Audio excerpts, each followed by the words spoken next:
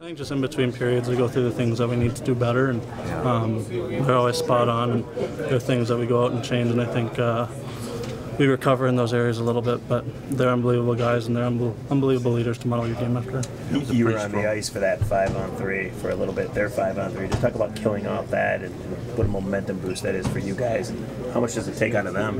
Yeah, it's definitely uh, builds confidence on the bench, and you can hear the crowd too, they're cheering loud, and I think it takes away a little of their confidence. And um, they did a, the penalty killers did a great job at getting in shot lanes and taking away space, so uh, it was good to see. That was a pretty strong all-around effort by the team. How soon into that game could you feel that this was going to be the best game this team has played in this series? I think we just came out strong, and uh, right from the puck drop, our legs were going, and um, it's always huge when you can get a good first period and, and go from there. So. Uh, I think in, in total we played a pretty consistent game, which was good to see.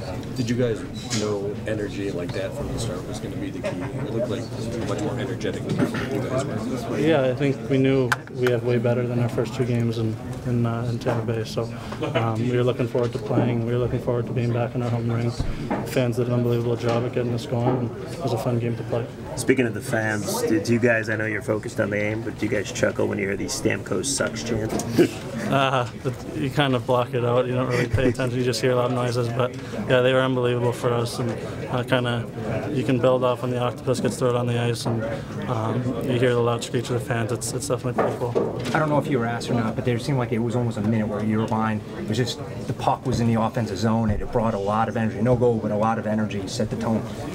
Yeah, we, I think uh, that shift was was a lot of fun to be out there and uh, create a little bit of momentum.